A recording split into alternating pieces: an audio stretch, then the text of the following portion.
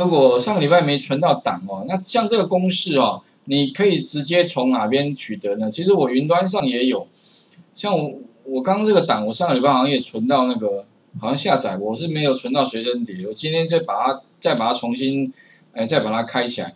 那这边各位可以看到，这边就有公式了嘛？我是把这个公式 Ctrl C，然后呢，直接在这边 Ctrl V 打个勾，向下填满，第一个就有了。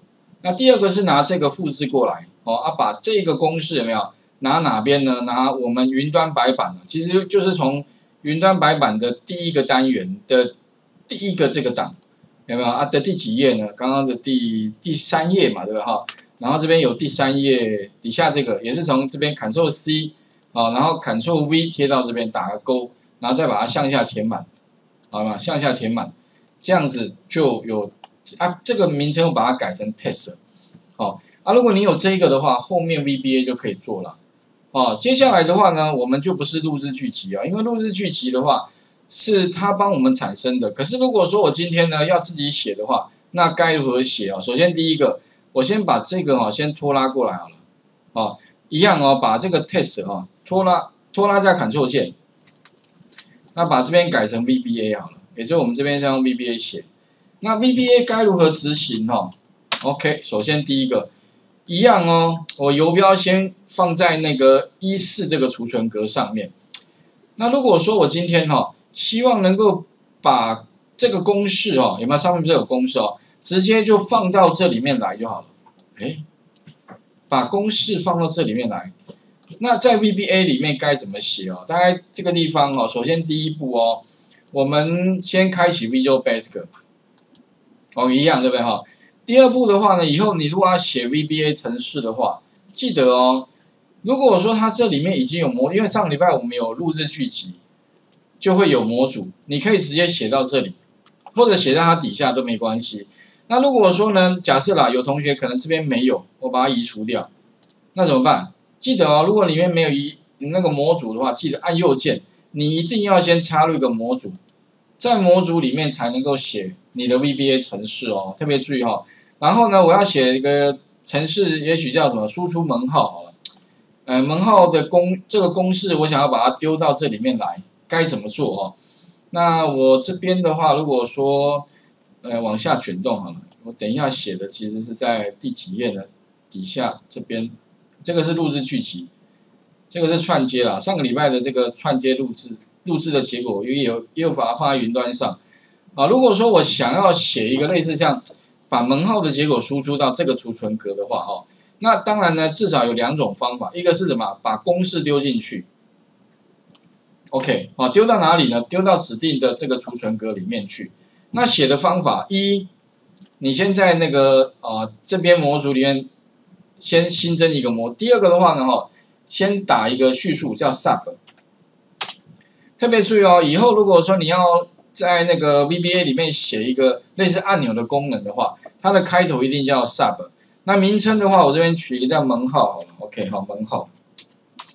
然后底线，因为我要输出公式啊，把公式丢到那个储存格，这边打一个公式。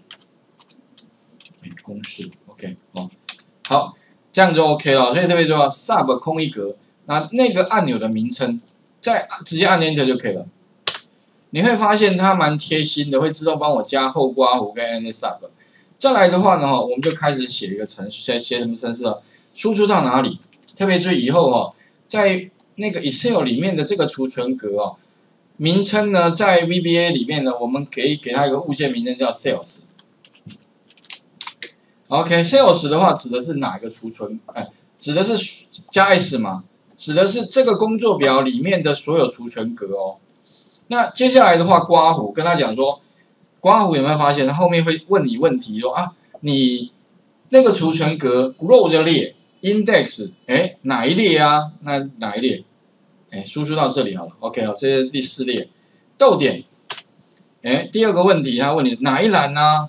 那当然你可以用数字 A B C D 一一的话五嘛，不过五哦，有时候这个后面栏哦，我习惯哦用另外一种叙述方法，用文字。依然的意思，OK，那这个时候的话，指的就是那个储存格里面要放什么。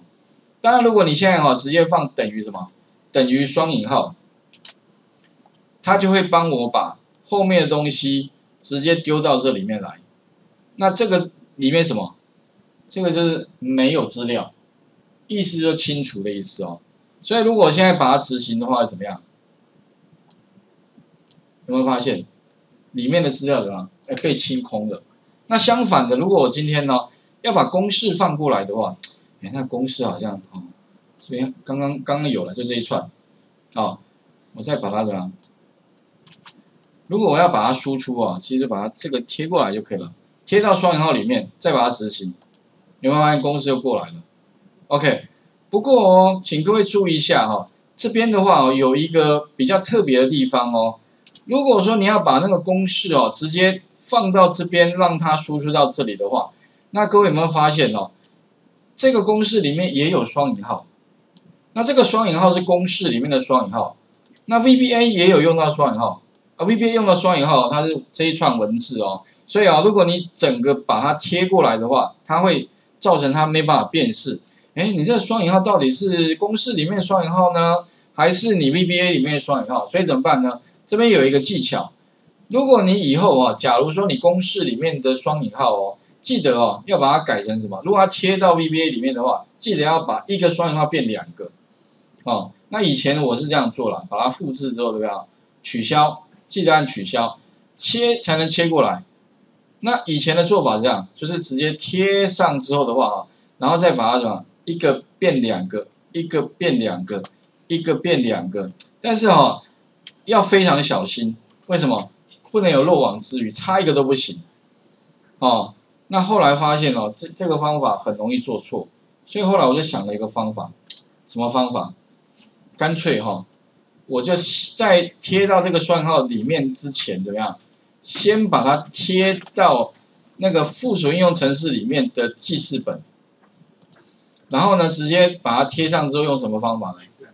编辑有个取代，取代其实应该知道意思的啊，一个双引号帮我变成两个双引号，哎，这样的话保证不会错，因为呢哈。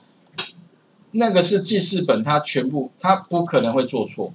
那如果你用人工的话呢，很容易做错哦。所以取代完之后呢，再把这个公式呢贴到这个双引号里面，这样就 OK 了哦。那我们来看一下哦。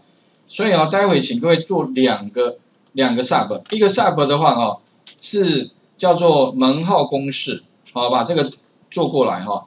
第二个的话就是再复制一个一模一样的贴到底下。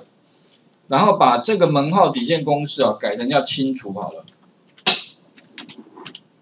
哎，清除的话意思是什么？就是后面这一串有没有？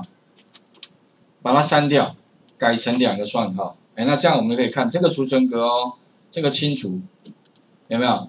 这个的话就再把它丢过来。哎，OK 了有没有？所以哦，目前的话可以针对什么呢？针对这个储存格做什么？我要把公式丢过来，就是丢这这一串。我要清除它的话呢，就丢一个，有没有两个？那这样的话呢，执行，哎，有没有过来了？清除，OK 啊。如果你怕做错的话，哈，其实云端上也有哦，在哪里？在那个云端白板哈，所以慢慢你们要习惯，云端上面其实都有答案哦。在第一个单元里面的第十三页，就会有什么？刚刚我写的这两段，有门号公式，OK。啊，请各位试试看，好来，画面呢先还给各位哈，来切一下。那这个是输出公式的啊第一步，OK，好，只是说目前呢只能够丢一个一个资料到一个储存格，那未来我们底下还有一堆嘛，所以怎么办呢？后面就要教各位哦，再增加一个回圈啊，那回圈要怎么加？待会再来看哦。